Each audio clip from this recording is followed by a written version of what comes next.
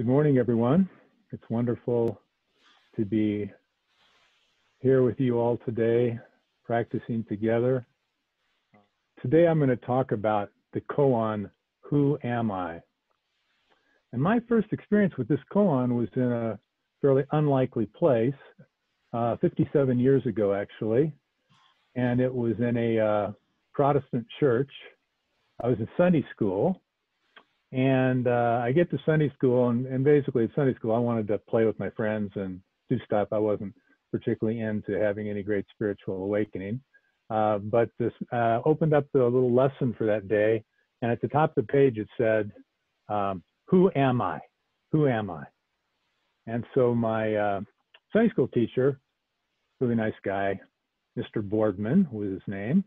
He said, "So, uh, we're going to be talking about who am I today. Anybody want to uh, kind of tell tell uh, what what they think about who am I? So I'm thinking, okay, really, I want to get back to uh, to doing playing stuff here as quick as possible, and I think I got this one.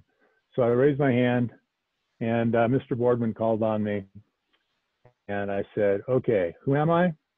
Well, um, I'm Kent Brown. I live on 4214 Southwest Altadena Avenue in Portland 1, Oregon. That was before we had zip codes. It's now 97201. Uh, my brother's Brent. My dad's actually the minister of this church. His name's Harold. My mom teaches at Portland State University. She teaches English. Um, her name is Alberta. My favorite sports team is Oregon State uh, Beavers. Uh, don't like the Oregon Ducks. Love the Oregon State Beavers. I love playing all sports. Go to Robert Gray Grade School. My teacher is Mrs. Craig. That's pretty much it. And uh, it was almost like, you know, and today they didn't use that expression back then, but inside I was kind of doing like, yes, you know, nailed it. But uh, anyway, um, as I reflect back on that, a couple things. First of all, as a 10 year old, I didn't think about, well, wait a minute. What about when my dad or mom go away or, or die or divorced or I'm no longer at Robert Gray Grade School or for some reason I'm not living in, in Portland, Oregon at 4214 Southwest Altadena Avenue. Then who am I? But, you know, give me a break. I was 10 years old. I didn't think that way. But, and, and, I, and I would also say that I would never have believed that 57 years later, because uh, I'm, I'm 67 now, that I would still be completely, I have this a continuing focus of my life, this, this koan of who am I, right? It is my life. And you know, this koan, I know a lot of you have worked on it. You know, it's not a it's not a koan you just study and and tick it off the tick it off the list. You know, when you when you pass it and move on. It's way more than that. You know, it's it's who am I? It's what am I? It's what is this going on here? You know, what's the reality? What's the the here now reality? What's the totality? You know, what is it? What is it? What's this, thus? What's going on, right? What's life? What's death? What's the nature? What's the nature of, of, of mind, the nature of heart, right? So it truly is the, the koan of, of life, this, this very life, this very life, including right at this moment, right? And each of us have a chance this week to go deeper and deeper into this koan, deeper than we've ever gone before you have an amazing, we have an amazing opportunity to practice. And you think about what had to happen for us even to be here today. First of all, we have these two amazing Roshis that are very, very patient. They use all kinds of uh, upaya in order to try to uh, help us see more clearly, point us in the right direction, give us the right pointers, shake us when we're asleep at the wheel, do whatever is necessary to help us in this most compassionate way. Well, not only as teachers, but then what they've created as far as this space, the Abbey. And the Abbey still permeates every place we are right now, even when we're in our own, own homes. So, uh, you know, that, that's one thing, and a pretty darn big thing at that that might, that, that needs to happen. I think of uh, Tetsudo, he talked to me after the very first weekend uh, session that I did, and I don't know if I would come back or not, but he was really, really kind to me um, and uh, and told me about uh, the uh, physical pain that he had experienced too, because I was in a lot of pain that first that first weekend, and so I really uh, have just so great uh, appreciation for that. And then I think about my parents, and I think about all your parents, uh, the fact that they ever even got together, right? That's somewhat of a miracle. and then think of their grandparents, your grandparents, and you know, go on and on and on, ancestors. All those folks, just if they wouldn't have gotten together at just the right time or whatever, uh, they they survived uh, at least to reproductive age, uh, wars, uh, all kinds of things, diseases that could have happened, and any one of those things, and you wouldn't be here right now. Not to mention what things happened that had to happen in your life up to this point that we're all here today. So that's it's uh, quite wondrous, uh, that's for sure. Um, so I guess the, the thing is that this week, uh, let's take advantage. Let's let's go deeper deeper in our practice. Let's support let's support each other, and just really really take advantage of this opportunity. Well, uh, before we get into the rest of this talk, or really get into this talk, uh, I want to uh, share something from my business career. Um, when I when I worked in business, I worked for this a very large company. Uh, some of you know as Pepsi Cola, and uh, we uh, we we had to write a lot. I was in IT. I worked in IT, and we we did lots of recommendations for IT infrastructure, how to connect connect the dots of all these different locations, uh, and can keep keep the business up and running uh, globally, you know, across across the the whole world. And so one of the things we had to do is when we were working, when we were doing recommendations is we more often than not have to do an executive summer for the senior executive team. So they could really understand what it was the heck that we were trying to focus on, right? And uh, my boss would say, okay, Kent, uh, you gotta, these were his words, not mine, you gotta dumb it down a little bit. The recommendation is like 25 PowerPoint things. Nobody's gonna read all that stuff. So simplify it and capture the spirit, capture the spirit of what it is you're recommending, right? That's that's what's going to ultimately sell them on it or not. Is get, capturing the spirit.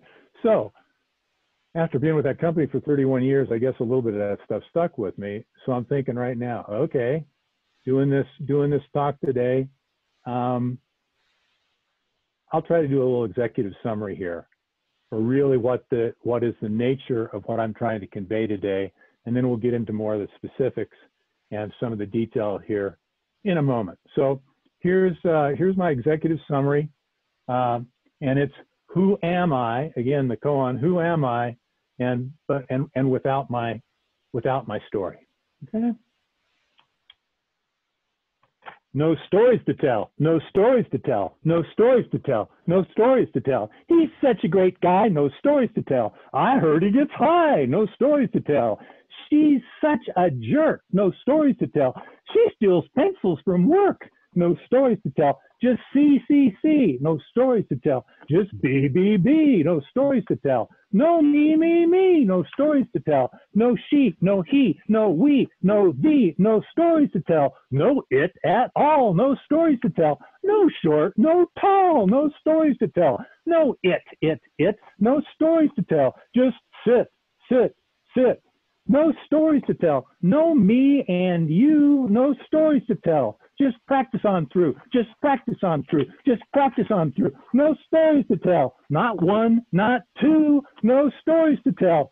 Who is telling you? No stories to tell. Of who am I? No stories to tell. Let your fond opinions die. No stories to tell. No me, no you. No stories to tell. No who, who, who. No stories to tell. No who, no I, no stories to tell, no I to live or die, just see, see, see, and all will be.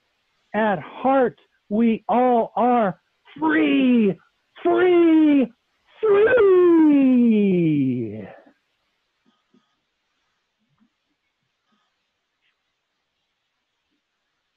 So I want to share a few points with you today from my practice, working on this koan and still working on this koan. And these are points that have helped me. We're all different. We're all socialized differently.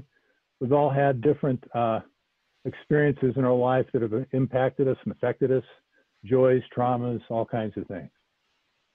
But I'm going to convey things that were helpful to me. Hopefully, some of it will be helpful for you as well. One point in working on who am I from, that I found really helpful is don't try and figure it out. Don't try and figure it out. And uh, I was trained in science, and I like to figure things out. I like math, like to kind of figure that out. But in this case, it's not particularly helpful. Okay, we're going to do some of that probably. Who, who doesn't? But but it's not particularly helpful. When I first found out about Buddhism, it was long before I ever sat with anybody. I never I'd never meditated in my life at this point. But I picked up a book by the Dalai Lama, and the Dalai Lama had a chapter in there, and it was called something like Ultimate Reality. He was pointing at emptiness, and so I was uh, I, I read this book and there was one that chat that particular chapter really stood out to me. I was on a business trip. I was talking to a gentleman on my team, Bob, and I was telling him about how incredible this was, reading this, uh, reading about ultimate reality, and it had so it rocked my world and kind of challenged my way of thinking uh, as I read it. And I was trying to share it with him, and I said, "But you know, there's one thing about this ultimate reality, about what's really going on here, that the Dalai Lama was writing about, that I don't quite get. I just don't get this one thing."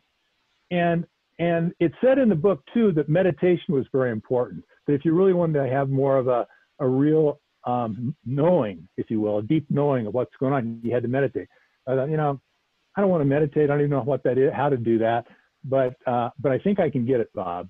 And he goes, well, that's that's really cool. And he, he was interested in it too. I mean, here we were at a business dinner, and we're talking about ultimate reality from the Dalai Lama's point of view. But anyway, so so that was my first my first kind of playing around with with this with uh, you know with, with a, a really deep question, uh, and in this case about emptiness or ultimate reality, and uh, that that wasn't particularly helpful. It was needed. It piqued my interest, but but it certainly didn't really get me where I wanted where I wanted to go, wherever that might be. Okay, um, and and and the point is, my, in my experience, the thinking mind, the conceptual mind, the storytelling mind, that won't capture it. It just never will. In fact, when working with this koan, it's helpful to remember it's not just who am I, it's who am I prior to thinking, prior to that first thought, who am I? And of course, this week in our practice, we have the ability to really focus in on our zazen. Our zazen is a powerful way of practicing with this with this koan, and we have that opportunity all this week. Um, and, and, again, quite frankly, um, the, the, intellectual study of sutras, reading books on Zen, I enjoy that. Wonderful pointers. I'm not saying there aren't, it's not, it can't be helpful, but that won't reach it, at least for me, it, it hasn't, it never did, you know. Uh, and the other point is about this don't figure it out is what if there really is no thing to figure out? What if there's really nothing to conceptualize? Just see. What if that's it? We just need to see. So if a belief or story comes up, we can just put that aside and just see, just see what it is. But not see just with our eyes. That's just another concept.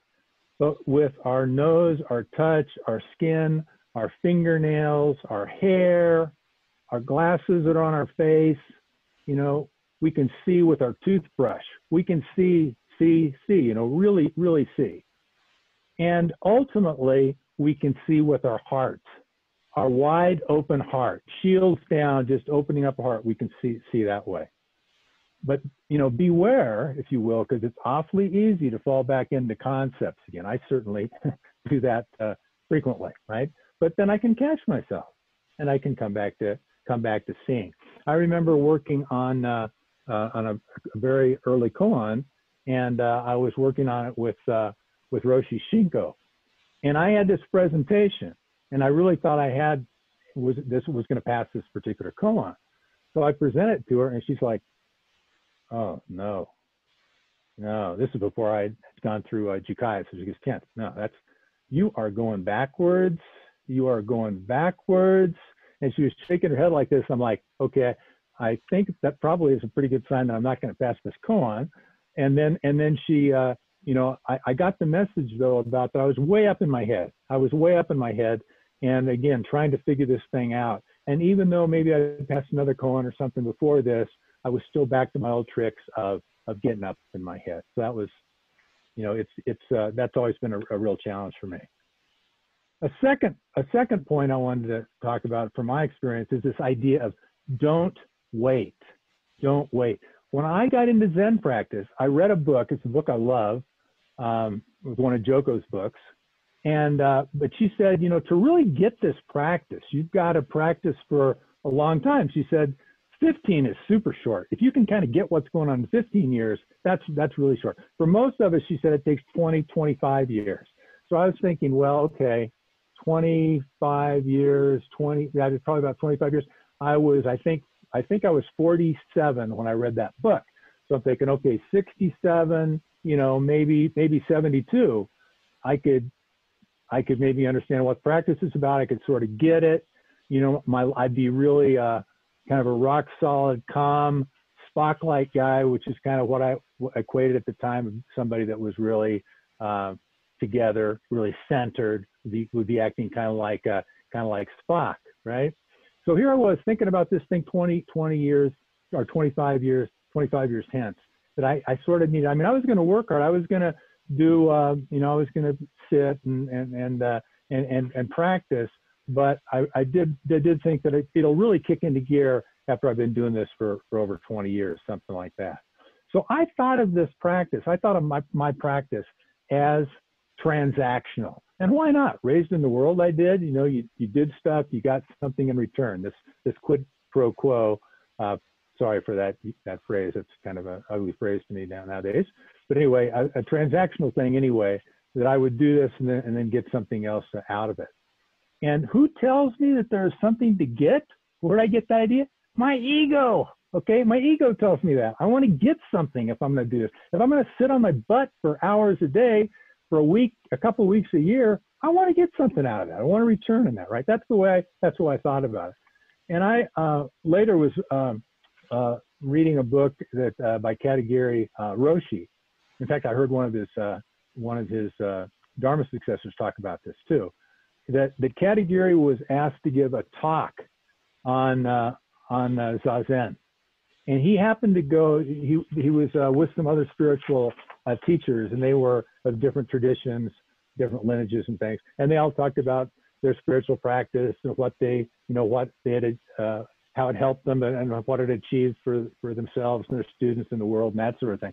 So then it becomes Katagiri Roshi's turn. And, and he's talking again, going to going to be focusing on zazen. So what does he say? He says, you know, zazen is good for nothing. It's good for absolutely nothing. And I'm thinking like, wow, he just pulled the rug out from under everything, from from everyone. I'm, I'm sure that's exactly what he what he wanted to do. But he pulled out the rug from the kind of thinking that I had had um, from the, at the beginning of my practice around, you know, wanting to get something out of zazen, right? This this transactional idea. And but what if there is nothing to get, and perhaps what we already have, which is so precious, is no thing at all, you know? And this koan, this who am I prior to thinking, it can't be worked on in the future. It can't be worked on in the past we can only realize this thing now. That's why I'm saying don't wait. You can only realize it now. Where else could the here now reality be, right, of what the heck's going on other than now? Why would we think we could look in the future, you know, for, that? And as the Ino reminds us, every evening, you know, time swiftly passes by, an opportunity is lost. Each of us should strive to awaken, awaken, take heed, do not squander your life, right? Do not squander your life. So this idea of not waiting, not waiting, that's squandering some time. That's sort of, you know, missing, missing, missing this very, very precious moment. So I guess the bottom line of this to me is don't wait 20 years to, to try to really uh, get in deep into your practice. Don't think it's going to take you that long. And in reality, you, you can do it right now. You can do it absolutely right now. And um, also, don't don't wait till day five or day six this week, or don't wait till this afternoon even, the next, whatever the next period is. Right? Just drop in and and uh, and be present and experience this now, now, now, around now. Experience it now. Right? When else are you going to experience it? Um, another another thing that I wanted to share with you today is this this notion of don't add anything extra to this koan of who am I, this who am I before thinking. Because this practice it's really addition by subtraction. You don't need to add anything more there. You don't need to read a bunch of books. You don't need to read a, study a lot of sutras. You know, you got it covered because basically, uh, basically what this is, what you are, I am, everyone without exception is, is this precious, precious gem. You don't have to add anything. We've been adding stuff to it our whole lives, okay? Our whole lives. We need to start letting go and letting go and letting go and letting go, peeling back the proverbial onion, okay? Just peeling it back, back, back. It's like the third part patriarch says, don't seek after the truth. Just cease to cherish your opinions, your ideas. In fact, let go of anything we think we are. Okay? Reminds me of that story about the sculptor, right? Um, this uh, gentleman comes up to the sculptor who had created this beautiful, beautiful sculpture out of stone of the Virgin Mary. And the gentleman said, How the how did you do that? It's just mind blowing. It brings me to tears. It's so beautiful. How did you create that? And then she, the artist, she says, she says, Well, I just cut away everything that wasn't the Virgin Mary. I just cut away everything that wasn't the Virgin Mary. You know, that's our practice, right? We got to just keep letting go of everything, cutting away, lopping off all those parts of ourselves that we spent a lifetime cr- creating. We created this sort of house of cards, this this this uh, mirage, if you will. And we can just keep cutting that away. And then we can see when we cut everything away, everything away, what is left. Cutting away all our precious stories, all our ideas, and all our concepts. One moment while I let my dog out of the room.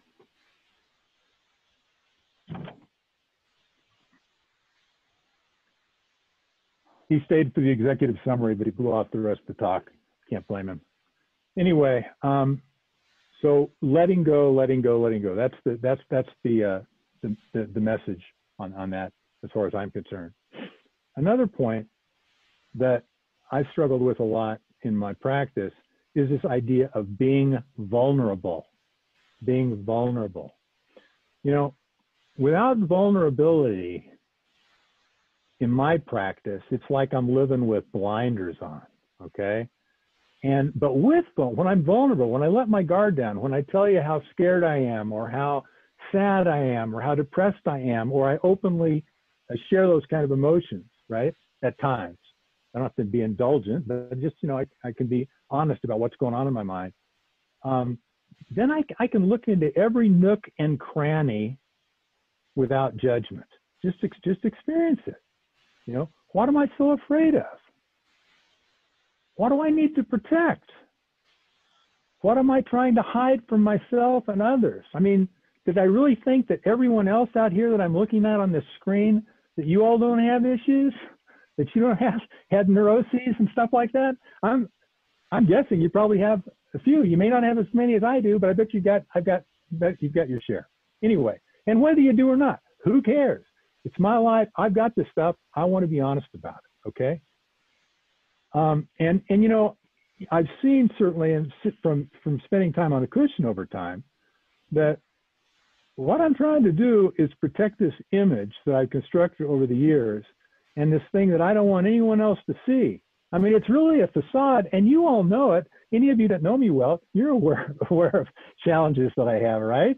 And I'm aware of it, but I still don't want it to be shown to the world a lot of times, right? I, it's like I, I don't want to do that. And and what is that? That's some stuff that maybe I can't quite accept about myself yet. So I want to hide it. I don't accept it. I don't want anybody else to even be aware of it. And that is is uh, is is can be a huge challenge. And one of the reasons it can be a huge challenge, particularly as Zen practitioners, is if we're doing that, we can rationalize the fact that we don't have this issue, so this challenge or this this tendency. You know, it's like for me, let's just take the example of, of being anxious. Okay, I've had anxiety, right, in my life that I've dealt with, and and what I my, what I might do is let's say that something this week comes up and I'm like, and I'm, I'm, I'm anxious sitting on the cushion. Something comes up. Well, okay, I could say, you know, I've been practicing now for a bunch of years. That's bogus. I, I don't, that's not, that's just some fluky thing. That's not really what I am at all in this moment. I'm not, I'm not really anxious and just kind of stuff it. Just go on to something else, distract myself and, and, and get out of that, get out of that somewhat. Okay. And, uh, but when I do that, and particularly as a Zen student, where I'm trying to see truth, I'm trying to really experience this here now reality. When I push that aside, stuff that whatever I, I might do, which at times in my life it been, has been helpful. You know, I don't want to, I didn't want to be given some presentation at work and like, you know, freak out and have a, have an anxiety attack. Okay. So, so sometimes having some techniques to not necessarily stuff it, but deal with it uh, more uh, in a more healthy way. That I'm, I'm not minimizing that, but what I'm getting at is I want to be able to look clearly at what's going on at some level, right? And rather than try to convince myself that it's not me. So what I'm what I'm aiming for, trying to do in my practice, is to look whatever it is that's a challenge for me, whether it's grief, depression, anxiety, fear, you know, joy, whatever it is, look it straight in the eye. Look it straight in the eye. Remember our friend Soten that some of us know from uh, from practicing with him for years. You know, right, right, not long before he died, he said he said he gave this Dharma talk, as he put it. You know, I'm going to look look death straight uh, straight in the eye, straight in the eye.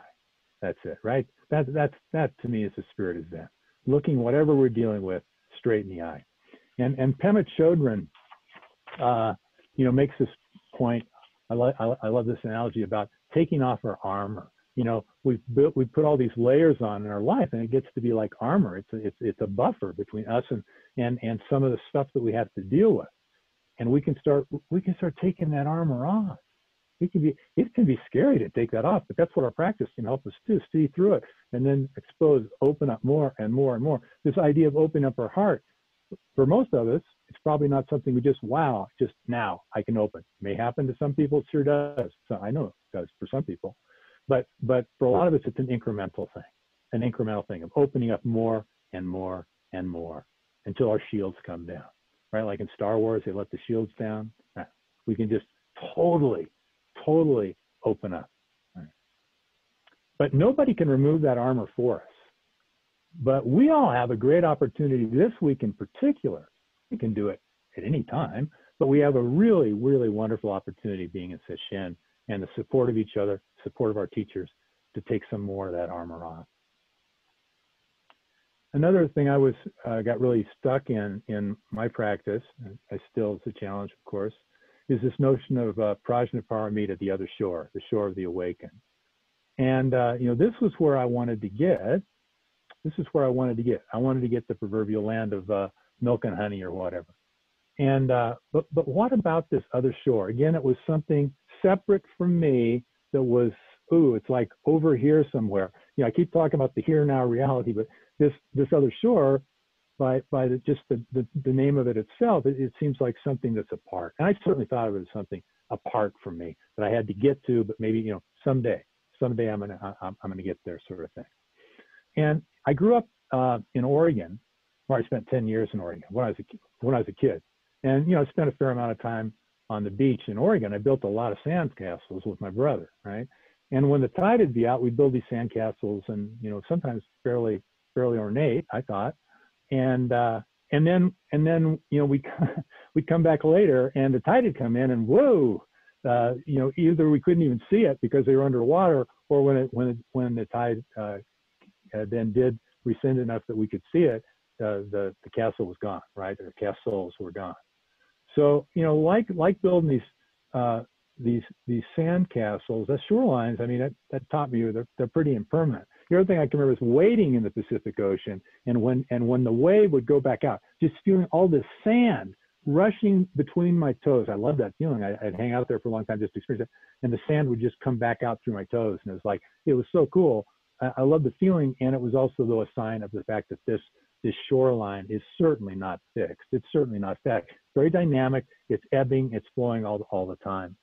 Um, so again, even from that standpoint, kind of this metaphor of the other shore, The, the other shore can be uh, it's it's not fixed. It it's can be washing away and then coming back. Um, but again, the similar notion to what I was talking about earlier, that this other shore, what if it's right here? What if it's been right here all along? What if all we really have to do is just live this life, this life, including when I'm uh, anxious or fearful or you are or sad or depressed or whatever, that that, that that being able to open up our heart to that, not be separate from that, is, is this, we'll call it other shore when it's really no other at all, right? And, you know, that really we can just live this awakened life that we already are without exception. Without exception, right? You know, the fourth uh, Bodhisattva vow, we, we chant it, you know, every day. Unsurpassable enlightened way I vow to manifest. We can do that. It is our, the pressure's off. Just live it. Just embrace it.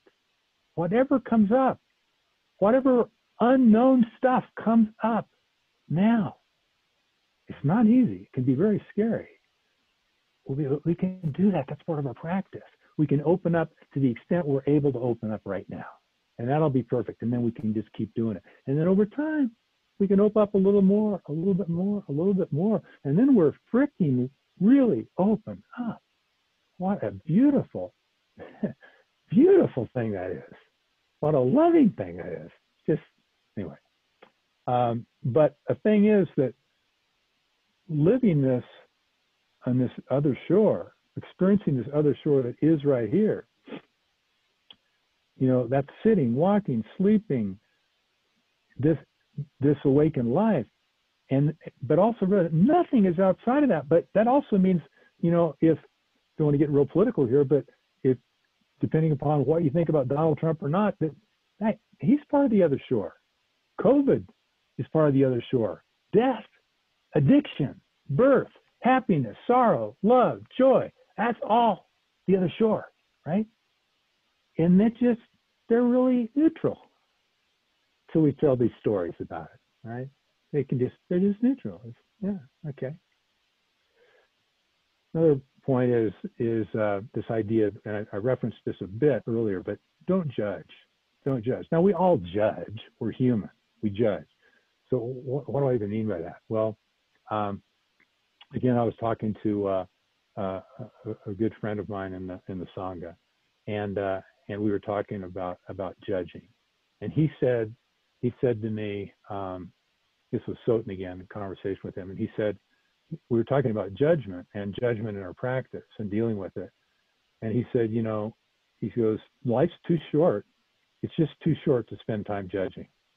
And he goes, he said, you know, it comes from the illusion of separation. And I said, okay, yes, but you tell me you don't you don't ever judge? I think I've seen you judge. Of course, I was being judgmental when I said that.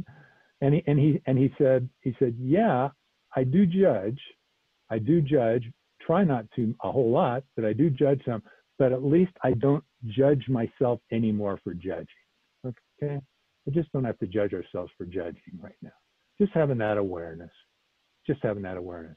Which brings me to the last point about things I really wanted to, to share and for my practice is be, and I think this probably trumps everything. be compassionate with ourself with yourself, with myself. Be compassionate. How compassionate? Is that going to be indulgent? Well, however compassionate you think it is, that's too much, go beyond that. Okay? That's what I try to do with myself. When I think I'm being too compassionate for myself, too forgiving for myself, too understanding of my challenges, whatever you might be even some would call flaws, I'm going to accept that and I'm willing to accept more. Okay? I want to talk just a little bit about uh, one of my very, I guess it's kind of goofy to say one of my favorite koans, but I'll say it anyway because it is. Uh, case number 98 from the Book of Equanimity. Right? Tozan's Take Heed. And uh, a monk asked Tozan, among the three bodies which one does not fall into any category. Tozan replied, As to this, I always take heed. As to this, I always take heed. And as Shishin Roshi writes in his commentaries in the Book of Equanimity, the three bodies are the three bodies of the Buddha. And I'm not going to discuss these three bodies in detail here, but many of you are familiar with them, the Dharmakaya, the Sambhogakaya, and the Nirmanakaya. And um, the uh, Dharmakaya is, is, uh, is, is, referred to like as a, the body of the Dharma or Buddha nature itself. Uh, the Sambhogakaya, this idea of this ecstasy of enlightenment. And then the Nirmanakaya, this earthly body in which uh, Buddhas appear. So as, as Roshi says in his commentary, to even in that question the monk is asking, to even attempt to divide reality into three, three separate things, to fragment it like that, and then ask which one doesn't fall in any category. He references a, a, a another a master who said that's like a cat pissing in your house. Okay, cat's pissing. I mean, how are you even supposed to answer that question? Because it's it's it's an out there question. It's, it's missing the point. So what's the appropriate response? Well, as Tozan said, just take heed. You know, if your cat pisses in your house, you're going to clean up the piss, right? Just taking heed. But Tozan, Tozan doesn't say he sometimes takes heed. He says, as to this, I always take heed. I always take heed. Not when he feels good, not when he feels pain free, not when he feels, you know, does he take freed? He do, not does he not take heed when he has any of those conditions. He always takes heed. He does take heed when he feels cruddy or he feels sick or he feels painful. He always takes heed. He does take heed when he feels joyous or happy, ebullient, whatever he feels. He's always taking heed, always taking heed. You're sickened with lies from the leaders of our country. Take heed. What is it? What's going on there? Your best friend dies in an accident. What's that?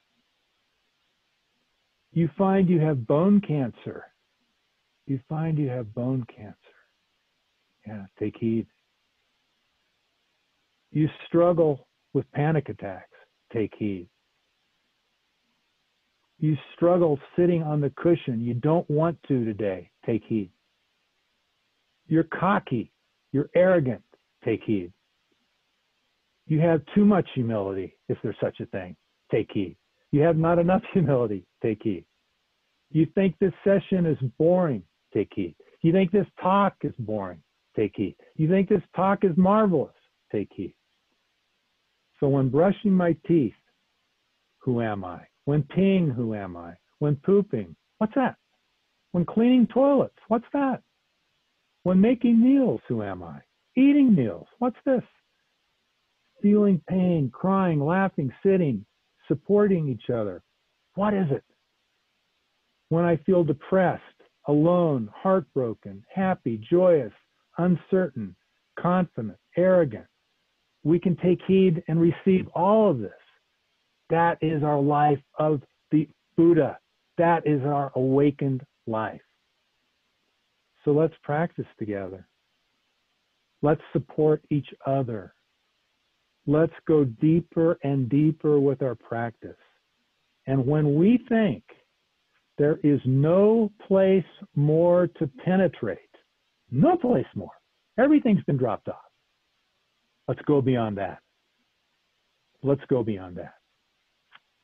So, what an opportunity we have in this Rohatsu.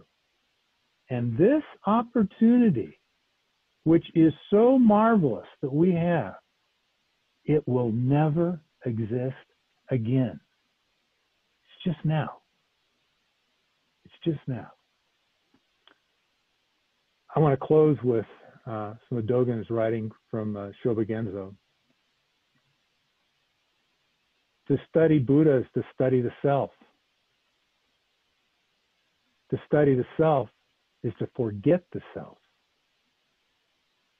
To forget the self is to be enlightened by the 10,000 dharmas.